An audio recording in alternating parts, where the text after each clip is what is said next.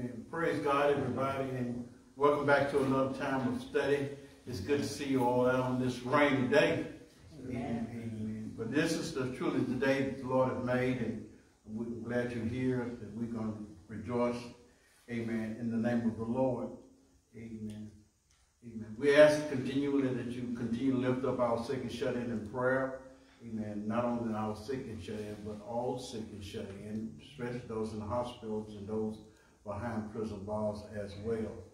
Let's go and, and do just that.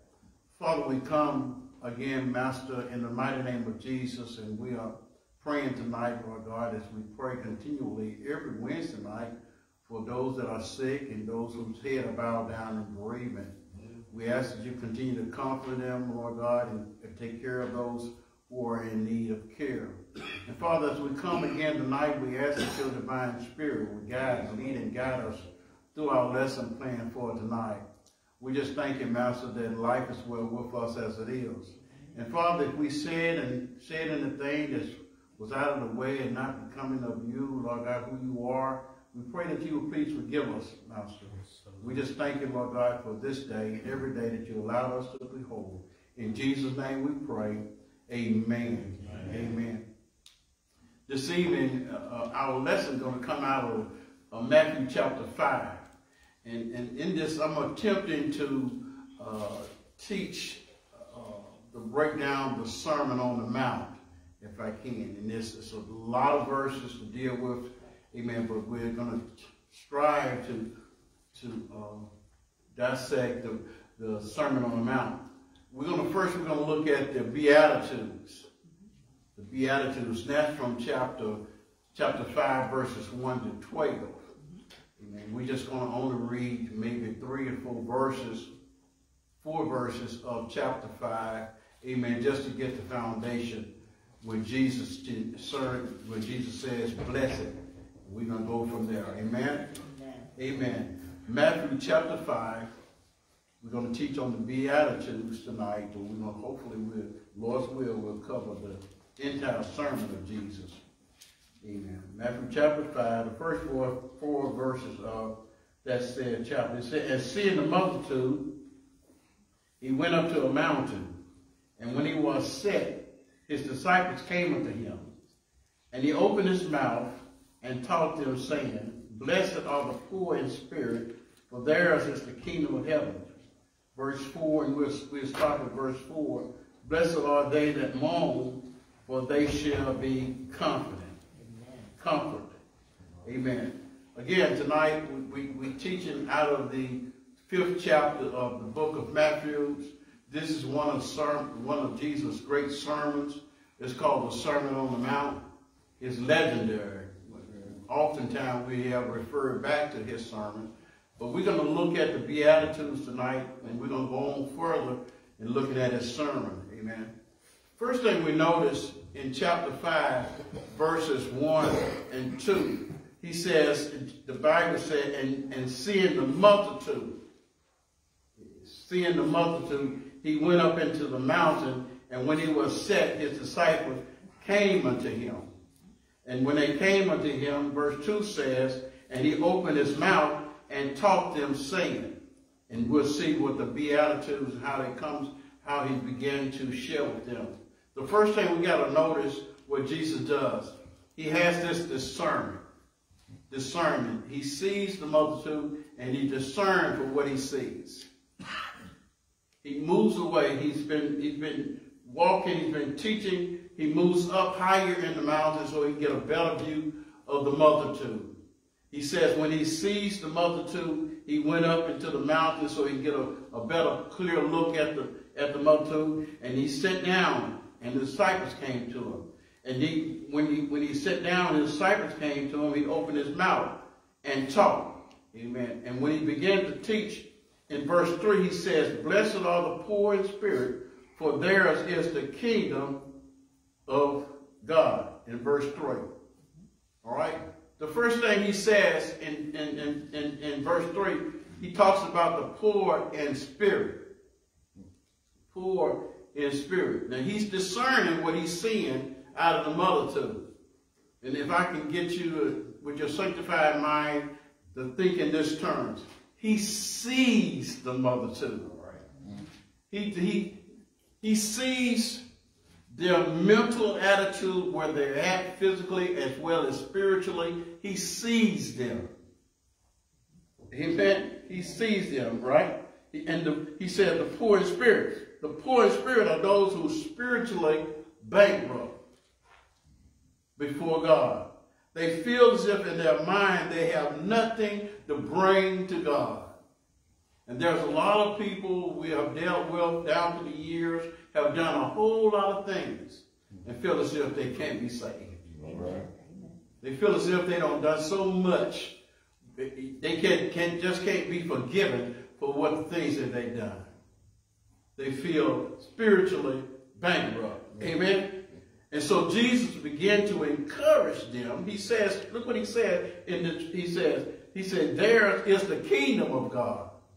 So those who are spiritually bankrupt, those who feel as if they have nothing to bring to God, he encouraged them, telling them, you have been granted access to the kingdom of heaven because of their humble approach of unworthiness before God.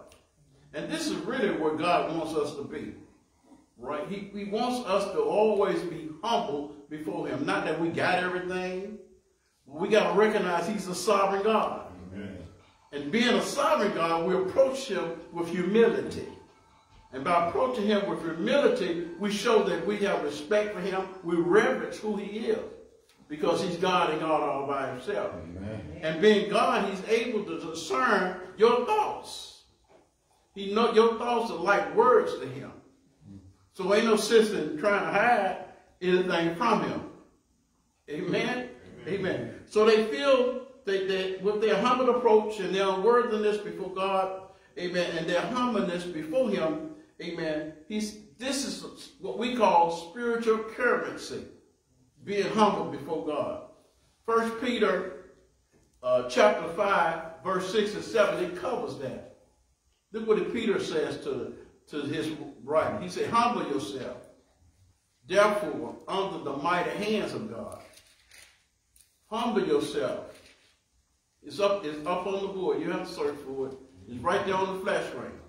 Humble yourself, therefore, under the mighty hands of God. Mm -hmm. What did he say? Let go of your will, right? Let go of what you're trying to do, and just humble yourself to him. Allow him to take control. Humble yourself under the mighty hands of God. And look what he said.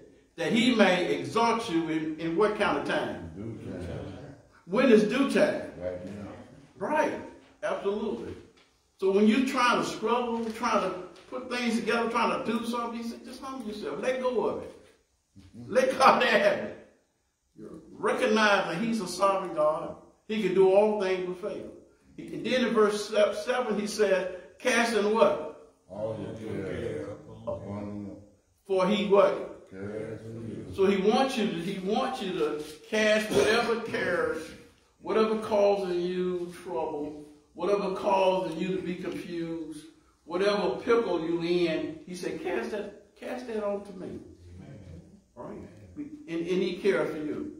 This is one of the key verses that I, I, I start remembering, start quoting remembering when I get myself into a situation where where I can't handle it, I'm at a, and I'm at a, a, stalemate, where I can't go forward, I can't go back, then what I do is just let me get takes my hands off of it, take my mind off of it. When I say hands, take my mind off of it and allow God to deal with it. Amen. When I take my hands and my mind off of it and just give it to Him, He handles it for me. And sometimes he just don't handle it immediately, but he handles it for me to a point where I can go on to sleep, and in the morning he gives me how to work that thing out. So, so, so the ones who are poor in spirit, they are they feel in spirit of bankrupt. They feel as if they don't have nothing to bring to God that's worthy of God. And all God said, just come unto me. You who is heavy laden and heavy laden, he said, I give you rest. Right? Just let go of the thing and just come up to you.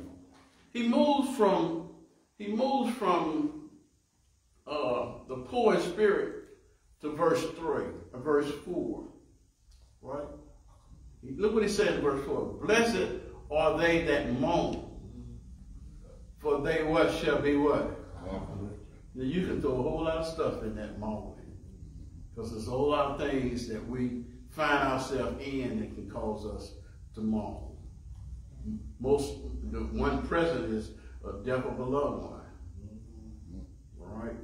Or, or, or, or it can lose a loss of a job. Whatever can cause you some stress. Right? In, in this particular case. This individual, it, it, he's grieving or they are grieving. It's, it's something they cannot, they're in a place where they cannot find any comfort.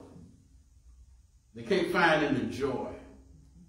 The situation has got so dire in them that they find themselves with their heads in their hands and just moaning with their hand, their heads down. They're so sad. They're so sorrowful. And the condition have have them down. He said they shall be what? Comforted. And Jesus called them that moan blessed. Amen. But when you're mourning, you don't feel as if you're blessed. Right? You, you don't you don't feel blessed when you when you stressed out and you sad and you're going to, and you your heart is heavy, you're grieving because of the of the passing of a loved one. You don't you don't feel blessed during those type of situations. But, but Jesus says, blessed.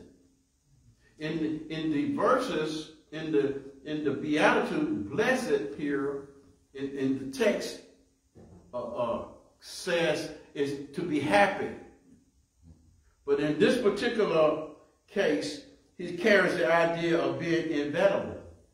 Means, means highly desired by the, by the Spirit of God to bring you comfort. You're at a place where the, where the Spirit of God or the Holy Spirit want to bring you some comfort so that you can get past this grieving period that you're in.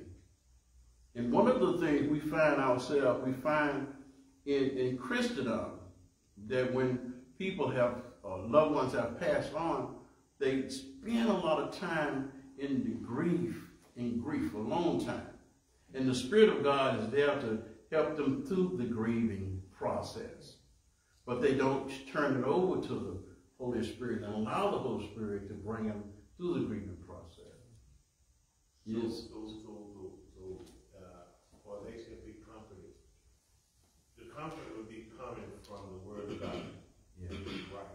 Yeah. So, you know, it's, yeah, it's just like the, about the poor, you know, blessing for the comfort. You, you got to know scripture. Yeah. You know, if you don't know the scripture, of course you're gonna, you're gonna, you're gonna, you're gonna be uncomfortable, you know. If, but when you know scripture, like you lose a loved one, and the scripture tell you, you know, if he saved and you saved, you should see that person again. That's comfort. Yeah. But a lot of people don't know that, so, you know, they, they tend to moan and groan all the time, which Lord said, you know, he, he, he's there for you. Like I said, if, if you, if you know the word, it really does take the, the struggle out of life for you. I, said yes. Scripture can bring you comfort, Yeah. but I'm, I'm gonna I'm gonna go out on a limb. We have we have housed inside of us the Holy Spirit. Right.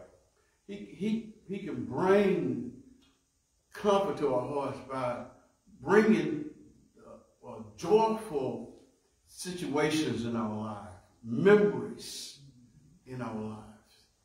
You, you follow what I'm saying?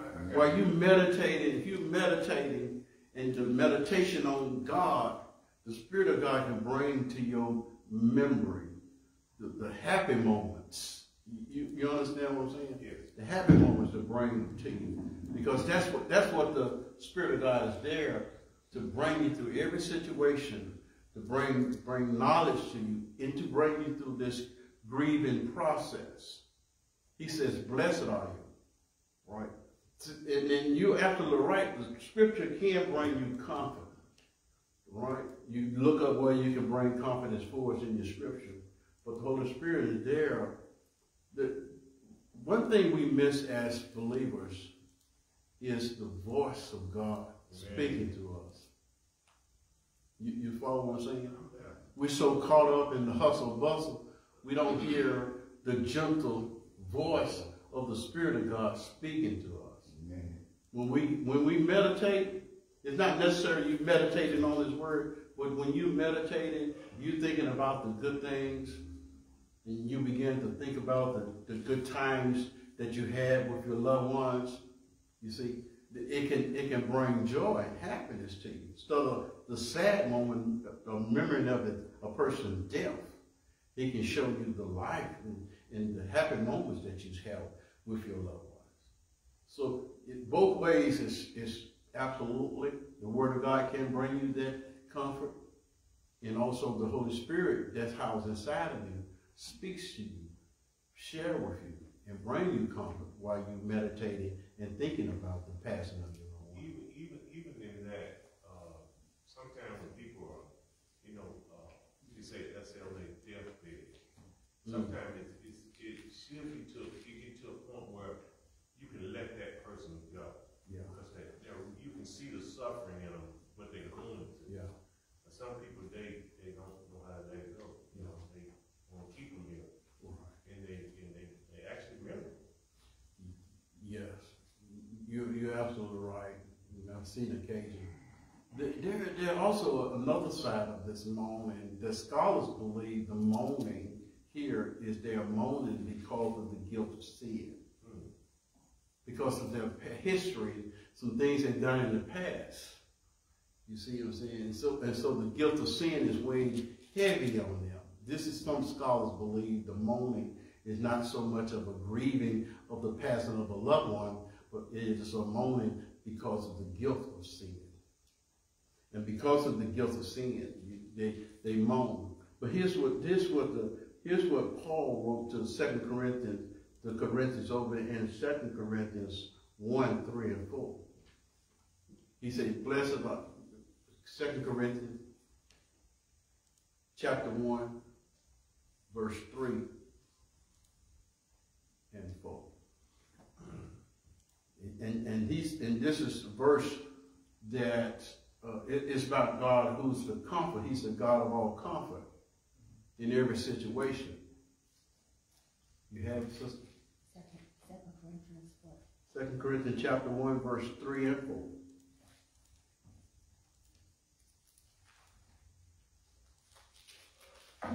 I have it here. He says, says, blessed, blessed, it says in here, it says, Jesus Christ, God of mercy and God of all comfort. Verse 4, who comfort us in all tribulation, that we may be able to comfort them which are in any trouble by the comfort wherewith we ourselves are comfort of God. So he, so the scripture saying, God comforts you in every situation that we go through. There's nothing God won't do to bring you comfort in those grieving situations, in a situation where you perhaps you are moaning because of the guilt of sin. Maybe it is so heavy on your heart. But you got to learn, we have to learn, or when we challenge or we are witness to someone who feel that way, we got to tell them they have to give it to the Lord. Amen? Amen. So he said, Blessed are the poor in spirit in verse 3. Blessed are those that moan, for they shall be comforted. So we know that those who are grieving, they shall be comforted by God. Amen. Then he, he said, now also he tells us to share those words with others.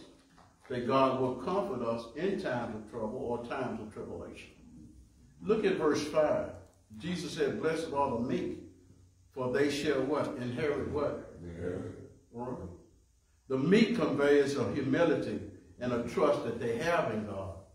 The meek is someone who's self-centered, have a self-centered attitude.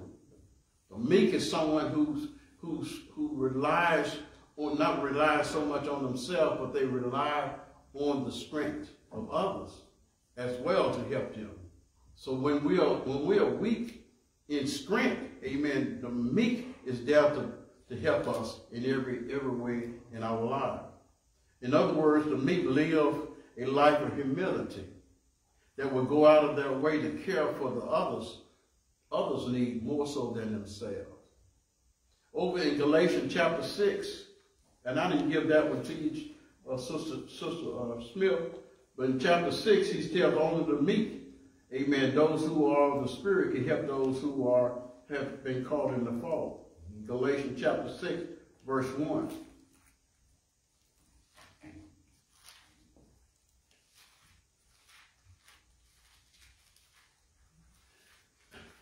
Galatians chapter 6, verse 1 says, Brethren, if a man be overtaken in the fault, he said, You who are spiritual, restore such a one in the spirit of meekness, in the, in the spirit of humility. So, so consider thyself, thou also shall be tempted. In other words, when you're trying to help someone, you got to do it in the spirit of meekness. You can't do it so that you can get, uh, someone can, uh, you get the, uh, the, the credit for it.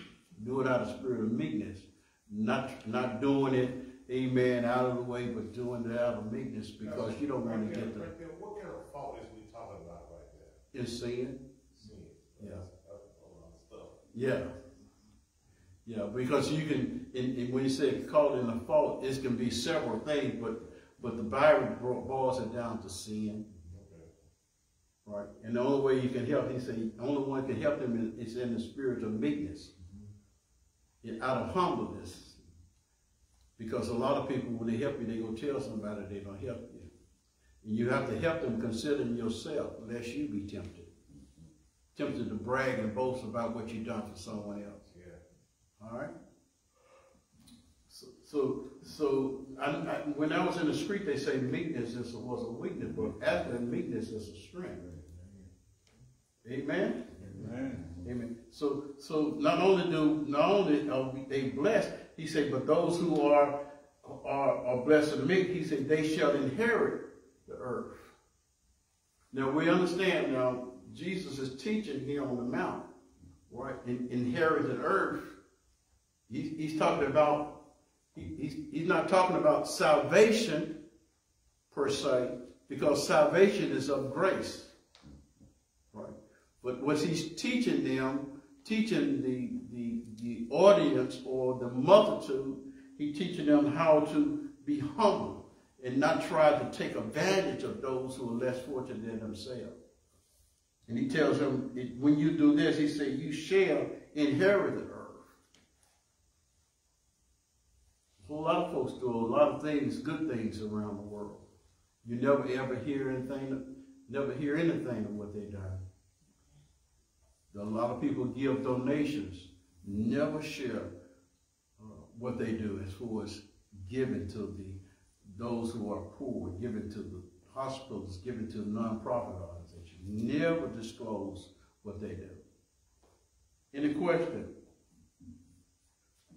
Verse verse six. He said, Blessed are blessed are they which what?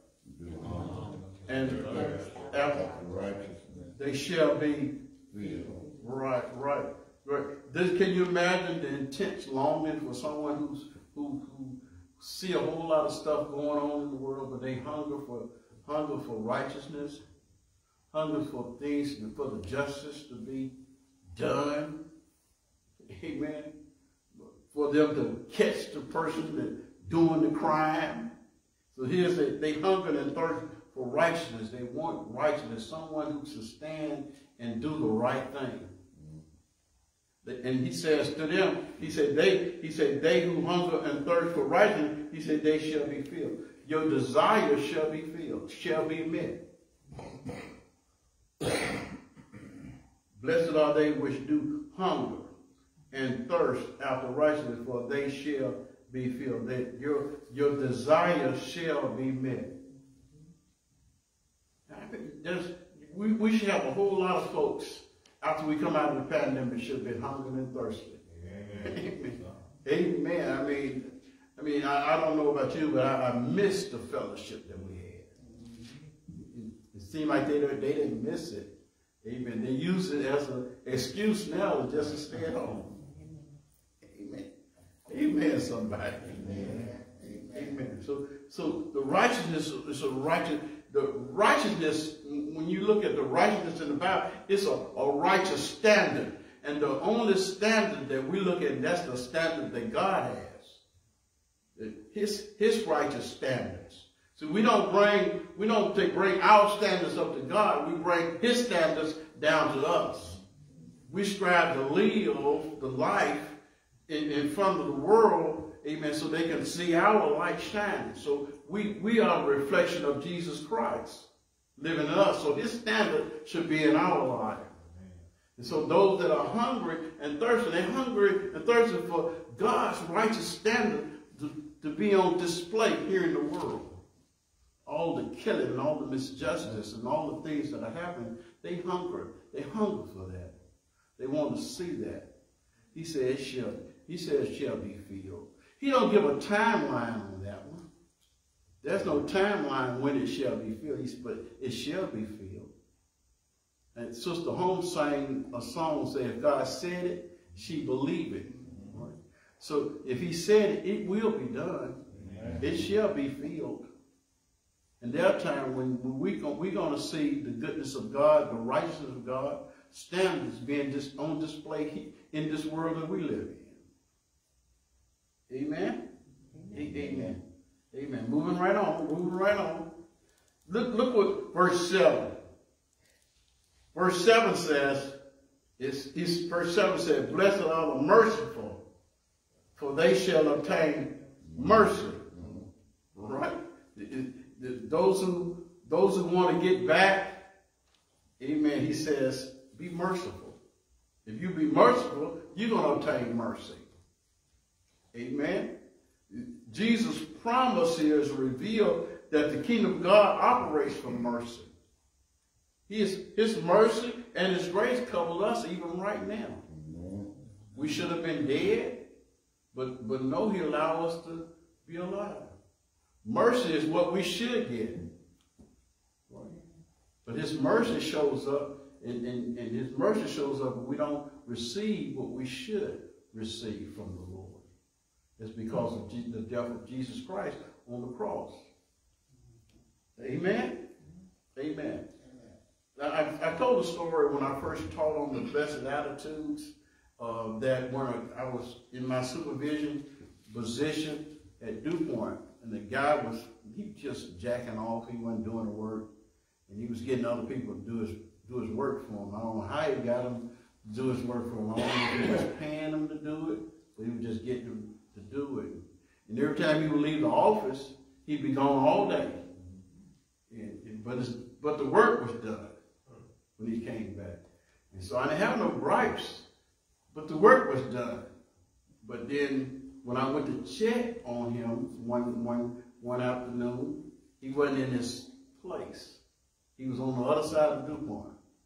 And so I, I knew then that he wasn't doing, doing the work. And my supervisor told me to call him to the office. You, you need to reprimand him. In fact, they said to me, you need to let him go. Because some of the DuPonts complaining that he's all up in the office area talking to some of the DuPonters. Some of the lady friends up here in DuPont said, you need to let him go. And so when I brought him to the office, I started talking with him. you know, he, he, didn't, he seemed as though he didn't care. But then he got to the point when I said, man, we got to let you go. He said, man, don't let me go, man. And he said to me, said, show me some mercy. he did. He did. I, I, was just a deacon then, but he said, show me some mercy. I said, man, they, they told me let you go, man. And every time I get to this particular text and I see it, I think about me not showing the brother mercy and letting the brother go. Was it was it out of your hand? Not really. I could have just sent him home for the day or gave him a day. But uh, I just, I tell, can I be truthful with you? Yeah. Me and him didn't get along at all. yeah, no, I, I didn't. I, I, I, he was a sharp dude, had a, had a, uh, had a curl in his head. He was, yeah, he, he was a sharp dude, man. He was, I was a little jealous of him. deep in your ministry then he asked you for mercy? Huh? Was you deep in your ministry then when he asked you for mercy? No, I wasn't. Okay. I wasn't. I was not. I mean, when when the man say, "Go ahead and send him home," him go, I felt relieved because I had that thing. I, And he would come to workshop, and never would get dirty. Everybody else was dirty when he come back. Yeah, skills. Huh? He had You're supposed to do his job for me. Yeah, yeah. Uh, but that always weighed on my heart. Uh, now, have I now would have a different, I would have a different approach to that. If I was ever in that situation and and someone has to cry, I have, have a little mercy on me. But we can still be merciful and be stern Can you in really certain, be in certain instances. I'm not- stern? Put them together. Give me an example. Well, I mean, if, let me say, if I was in a position where I was done wrong and all the evidence points to this one individual doing wrong, I don't have to be severe, so severe as to try to impose punishment on them that would do him just to retaliate. Yeah, You know, I could still be a little bit lenient yeah. towards the situation. Yeah. That, in that way you're saying, you're being merciful, then you're keeping your job, but you're gonna, you're gonna get some We're gonna get that reprimand, you know, we're gonna get that right up, or we're gonna put you on probation, or yeah, yeah, it would, would be within my, yeah, within my duty to have that authority. yeah. Yeah, you're right. Show a little generosity to, to the guy, you know, be, be more forgiving.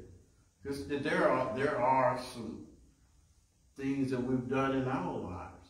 Right. We didn't show no mercy. And then he comes back around, he said, if you show mercy, Mercy. I'm gonna show mercy.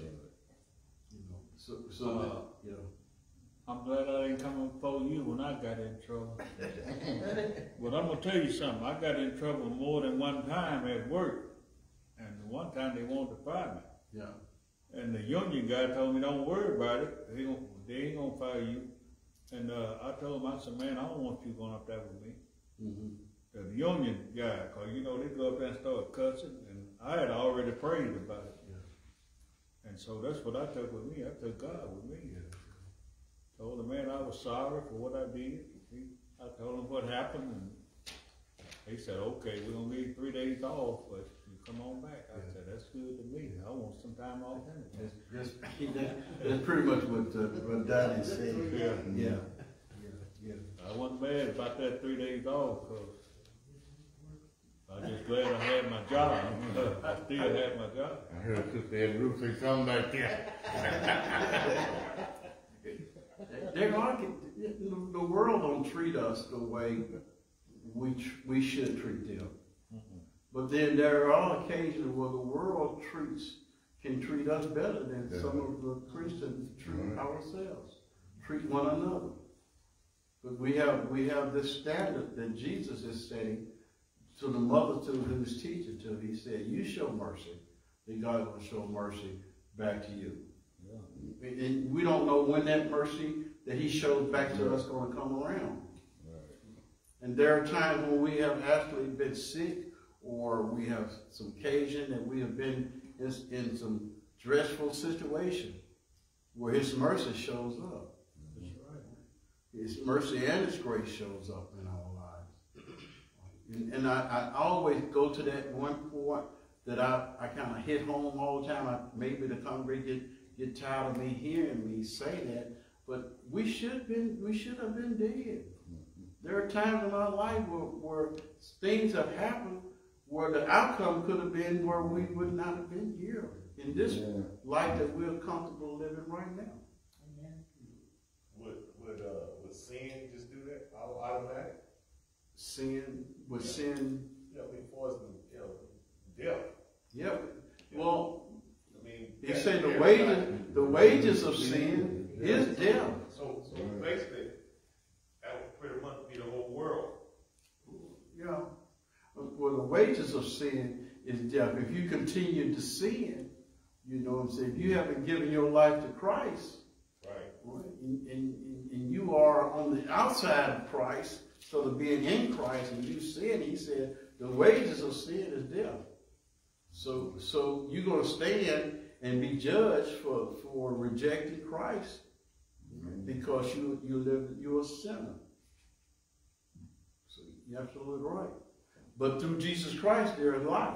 Amen. Mm-hmm.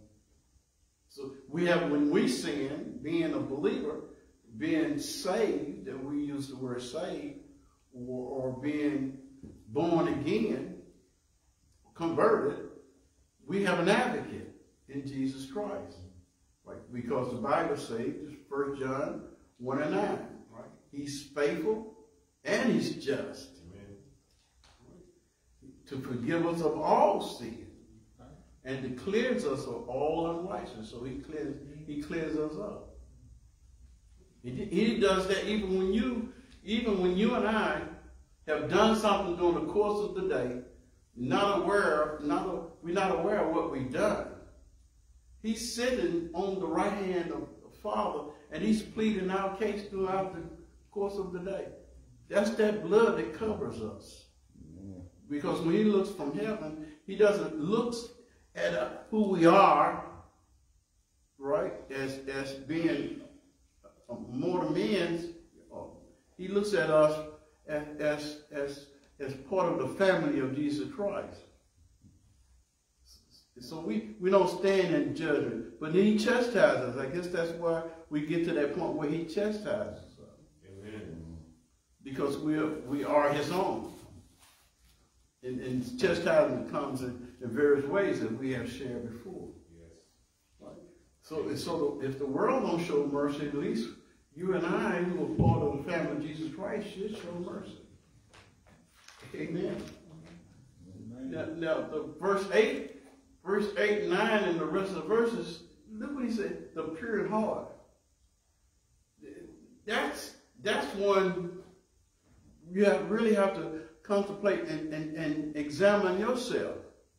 Because he says, he says in verse, in verse 8, he said, Blessed are the pure in heart. And, and here's what he said, and this is what he declared. They shall see God. It, it, it, the whole the whole part of regeneration is to change your heart. Yep. Is to take that stony heart out of you. He said, pure in heart, being honest, truthful, pure in heart. I tell you, I tell you what happened to me. I was at Ace Hardware, and I was buying something. Mhm. And the guy run up and hey, he come up to four dollars. But I knew it was worth more than four dollars. So I said, hey man, I ain't gonna do you like that. you know, try again, you know, you check the price again. So he come and did it again and come up with four dollars.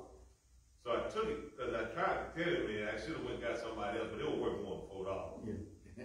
Well, But I gave it to get it right. yeah, you, he, mm-hmm. but, but you say he scanned it? Yeah. Well, it's scanned. It's on the scan, right? Yeah, he's a new guy. Oh. But the scan, that's what the scanner for the new guy. Yeah, they, That's right. I think they were four dollars a piece. I had ten of them. Oh, shoot. you knew better. Come on now. This is what it said. Look, look, look. He said, having a pure heart, are morally pure, honest, and sincere. There also who integrity is noted by the single-minded commitment to serve God, the attitude of it, to, to serve God, the attitude to do the right thing all time. All time, all there. If you ever get got back some more change than you supposed to get oh, and gave it back to him, I oh, have. yeah, I have too. Well, Pastor, right there where it say they shall see God, when it Yes. say they shall see God, Yes. you mean in Jesus, right? Yeah. I mean, you know. Well, God it- is it- it's, they are one, man. They're, no, Right. they're one. Right, so, yeah, either way you look at it, you see He, God. now, now listen, listen, look what he's saying. Listen who teaching. Mm-hmm. Who's teaching? Jesus teaching, Okay, right? And what, who, who, who did he say? He said, they shall see God. Right. He, didn't- he didn't say, they shall see me. Right. He said, they shall see God. but that's, that's Jesus. Cause you know God is a spirit, so you can't see him. I mean, you know. You can, say- you will see him. It said no man. When we get there, we're going to see him. He's, no- he's not talking, he's talking about after they die. Right. You gonna see God. You, you, you, pure in heart, pure in heart is not something you do one day. This is a consistent Right, living, kind of living. All right? This is what, listen, let, me, let me see, because she got me started. Look, look at 14 and 1. When, look at uh, John 14 and 1.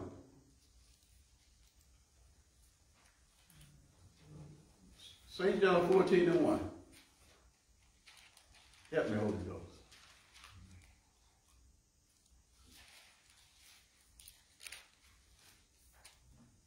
You got it, Sister Henley? It's, it's up there? You got it? Look what he said. Look what he said. Look what he said. Look, look, look what, this is Jesus talking to the disciples now. He said, let not your heart be troubled. Look what he said. You believe in God.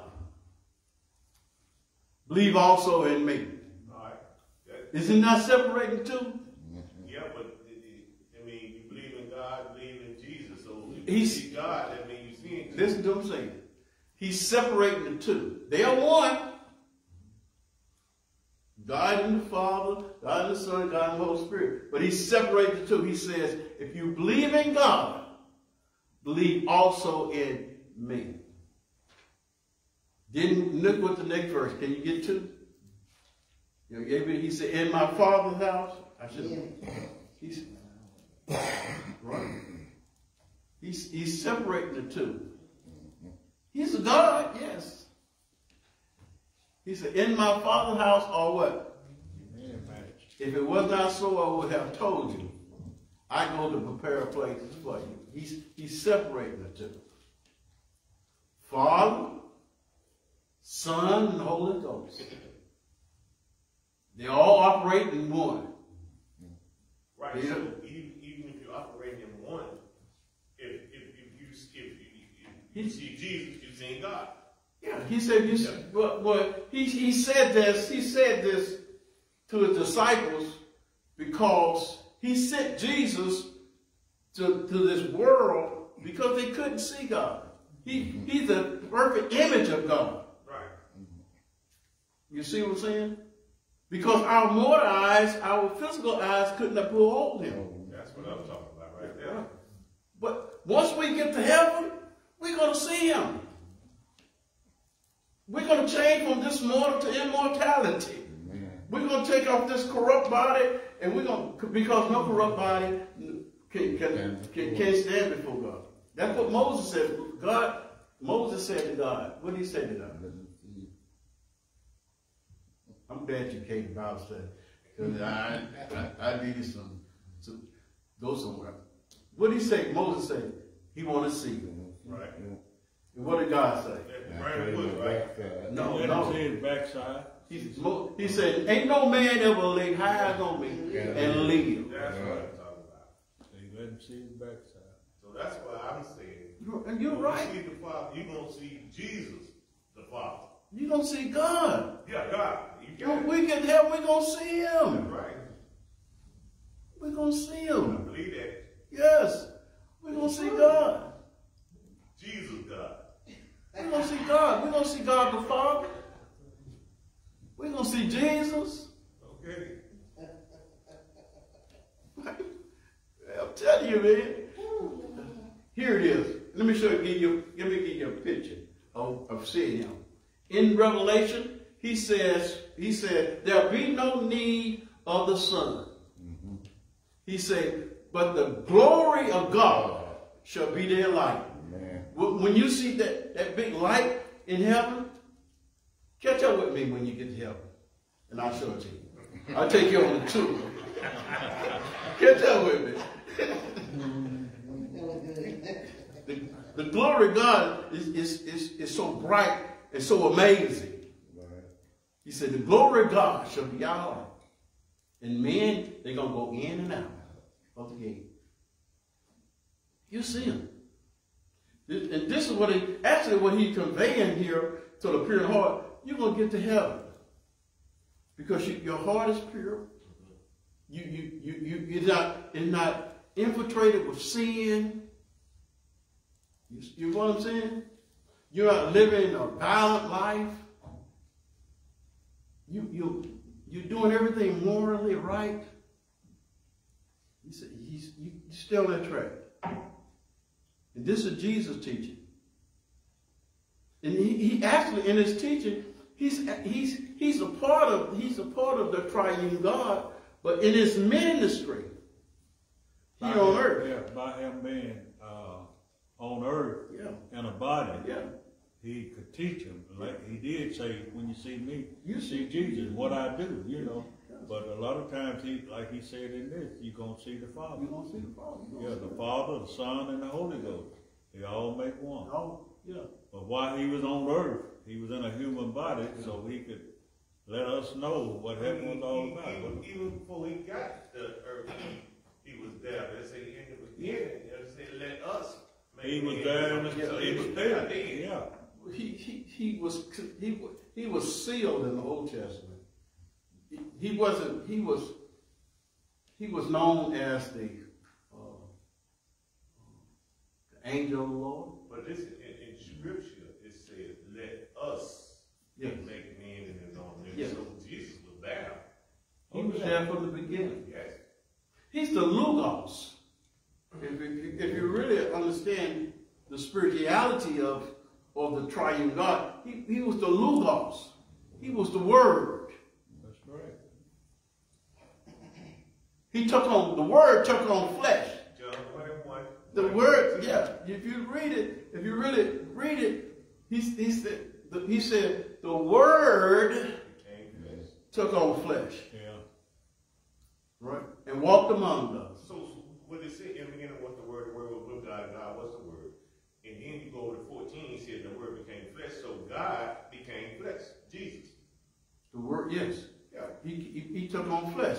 In, his spiritual form, he's a word. He, he, he was a spiritual being. Took on flesh. In order to invade, in order to come into this, this third world we live in, he came through just like you and I come into it. Come in through the pregnancy of a pregnant woman named Mary. He, he didn't break, he, he broke no laws, no laws of the earth of being born. That's right. Came, came through just like you and I. Grew up just like a normal child grow up. Only thing we have records of is Jesus at 12 years old. And maybe at maybe when he was a young lad, when the when the when the uh, the, the what they call them on the when they came from afar. But when at 12 years old, we have a record of it. Then after 12, God closed the curtain. Nothing else is spoken or said of him. A lot of, lot of writers and scholars try to make things up concerning what Jesus might have done. But nothing else. It have no other record of Jesus from 12 years old up until the, he turned 30 years old. He, at 30 years old, he left his, he left his mother. He hung up his carpenter belt, went down to the river Jordan to be baptized. And once he was baptized, I think we just had the scriptures. Being right, we just had the scripture Sunday school. When he was baptized, he was moved by the Spirit, going to the desert to be, be tempted. He put Adam in a perfect environment. He failed the test. Put Jesus in a in a in a desert environment. And, and Jesus passed the test. Amen. And, and most scholars call Jesus the second Adam.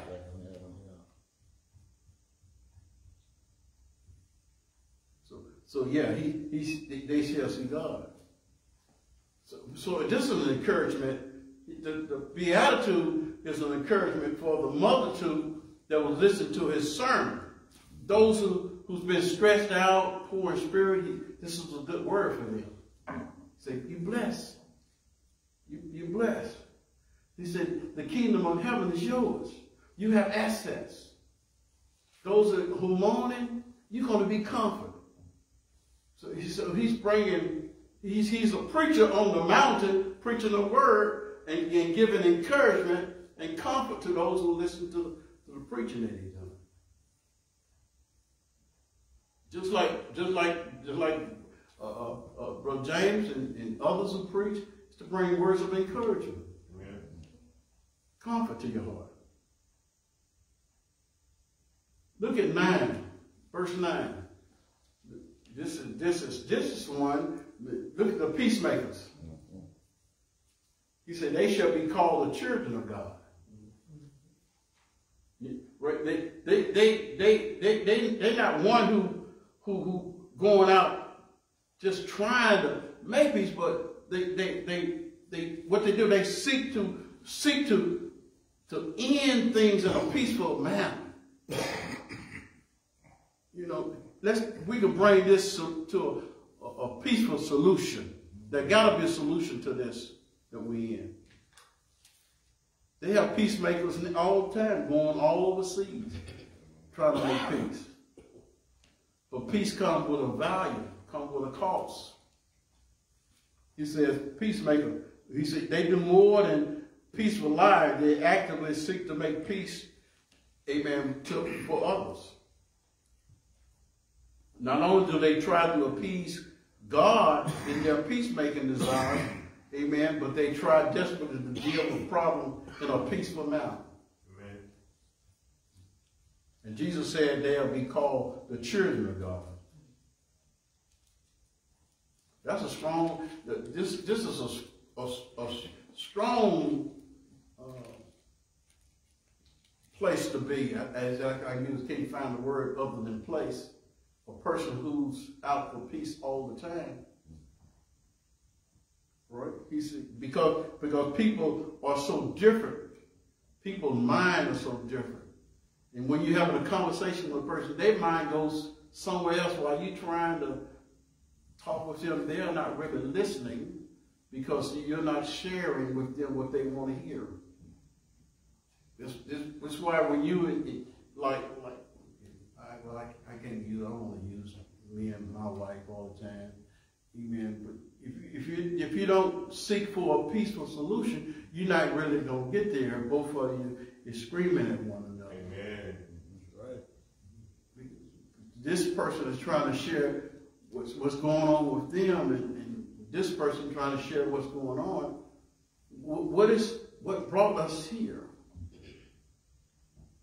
And so we have to be good listeners and not talk all the time. We have to be good listeners, be able to listen to what the person is actually saying. And if we're not good listening, then we're not going to actually get to the problem. And most time we complain about, we complain about, you don't never get to the problem. I'm hearing what you're saying, but you ain't telling me what's what's wrong. You follow what I'm saying?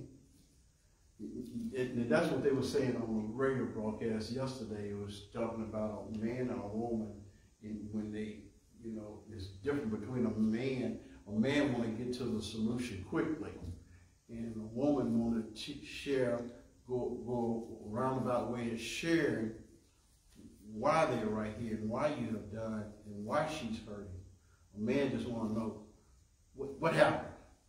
What you know, they we we quick to get to solution, and a woman want to explain and express to to us what's going on. But as men, we don't want to listen because we want to get to the problem quickly. It doesn't lead to a peaceful solution. Mm-hmm. Then what we do, we get silent and walk away until something else mm-hmm. happens again, and then bring it back up again. We get back at it again. Well, advocate for peace because the situation or a group of people to either be for him or against him. Yeah. There's no in between. Yeah. You know, what I mean, but like I said, you're gonna have a majority, uh, well, uh, you're gonna have a mass majority that's gonna be willing to listen and follow, and those that are against it is gonna get far away from it. Yeah. It's, it, if you, you talking, you're dealing with someone who's, if you're trying to be the peacemaker, Right. you're trying to be the peacemaker, you're trying to get to the, the, trying to resolve what's the problem, why they're at each other, why they're angry with each other, what they can't agree. So it, it- it's hard if you can't get, if they can't, both can't share what they think is the problem. Right. Yeah. But he said the peacemaker, he said the peacemaker, he said they're called the children. Because Jesus is the what? He's the he's the Prince of Peace. Yeah. I know Sister McCall, she wanted to say something. She she didn't want to say that. you with me, Sister McCall? Oh, yes, sir. Okay. Okay. I'm the peacemaker. You're a peacemaker? But listen, I, I, I, I, I, I, I told, I told the other day, uh, a sister called, and the sister fussed her all the time. So I told her the other day, you handled that well. She didn't get upset. She didn't go hollering back. She eased into it and said what she was gonna say and let her go. Mm. So she asked that, now you must have listened to the church or something. He said he been listening to him. Yeah. Yeah. Same thing. Yeah. Yeah. But see, verse 9, 10, and 11, they, they at 9, 10, 11, and 12, they're really connected, all connected. Because he, she's moved from peacemakers, right, to being persecuted for righteousness' sake. It's, it, it's not, when, oftentimes when we read it, we forget about the righteousness' sake. Why are they persecute you. Why are they at you at, at the start anyway. And we forget, we forget that you've got a you got the darkness in the world, the you got the demonic forces in the world that automatically against you. You fall. And so it, so 10 say they persecute you for righteousness' sake because you want to stand up for what is right. You won't compromise your position as far as what you believe is right according to God's word. Not according to what Ronnie Bullard say, but according to what the Bible say. Right? For righteousness' sake. He said, for theirs is where Kingdom of heaven. Right, because if you can endure that to the end, if you constantly standing for righteousness, he says, yours going to be for the king. Because what you're standing up for the kingdom, you're not compromising who you are. You don't want to compromise who you are as a man. And the women don't want to compromise who they are as a woman. You don't want nobody to tell you, tell you you less than who you think you are. And so you don't want to, you don't want to belittle the word of God. It's easy to do if you don't know the word. You, somebody can tell you some stuff, but if you don't know the word or search the scripture for yourself, you won't know. But if you say, I'm a Christian, I give my life to Christ Jesus, and the enemy comes and say, you ain't saved. You see, you do what you have to do. I'm saved. I confess hope in Jesus Christ. Amen. And say, you ain't saved. You still doing the same thing. I'm saved. You see, you don't want, you don't compromise yourself. And the enemy try, will try to do that. You persecuted. You talked about, you know, you're not, they don't invite you to none of their gatherings. And when they come, when you come around, they get quiet. Yeah. You see, there's different forms of persecution. The, the persecution back then, they was taking them and stoning them, hanging them on a tree, putting them in an arena, turning lions on them, or tigers on them. But persecution comes in different form in our day and time. And it's a whole, the holy roller. Don't want to go talk to her. Better stay away from Brother McCall. He's going to be trying to get you to go up to Washington Hills. There you go. So, righteousness sake. Right. And, and, and, and I'm, I'm going to stop right there. I'm, I'm at 10. I'm going to stop right there. Because 11 and 12, look, let me read 11 and 12. He said, Blessed are you men, when men shall revive you, use language against you, all kind of slanderous words against you, and persecute you, and say all manner of evil against you, falsely for whose sake? My say. I say, Not for your sake, Jesus say. for Jesus' sake. And some we have got that mixed up.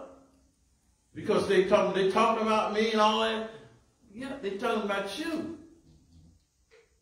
Not for Jesus' sake. Not who you are in Christ. But because of who you are in your neighborhood or what you've done, your back, you, you, your background or things of that nature, they talk about you. He said, but if they talking about you, revile you, talk, use kind of language against you, talking behind your back what we can't stand, the, the, the blessing comes in 12. He said, rejoice. If they don't get to that point where they're persecuting you because you're a child of God, he said, rejoice. Verse 12. And, and be exceedingly glad. Because great is your reward in heaven, for so persecuted they the prophet which were before you. You you you you fall in line with great prophets. Because they done it to them, they do it, they doing it to you. I think he, the, in, in, I think in the Bible, Luke says, in the book of Luke, he said, he said, if they hate you, they hated me first. Mm-hmm. That's right. And so, and so the world gonna hate you because of what you stand for and what you believe. But you know, when, when you deal with that, you know, sometimes as, as, as Christians, we do bad things, but the, the person that's persecuting you for that bad thing you've done don't know that you've been born again. Even that, even in my in my mess, I can go go to God and ask for forgiveness. Yeah. It's a big difference. You, know, you can talk all you want to, but I, I'm a child of God. I messed up. I've been Yes. to the Father and asked for forgiveness. That's so true. And, and it's so true. And I'm, I'm glad you, you, you realize that. But there's a whole lot of believers who's, who's babes in Christ don't ha- eh, have not gotten to that point.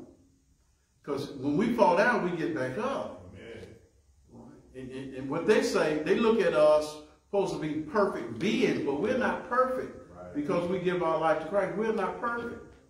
Some things gonna come out of us that, that, that's not pleasant and good, but we're not pleasant. We won't be perfect until we get to heaven. Amen. Till we shed this flesh, the body of ours.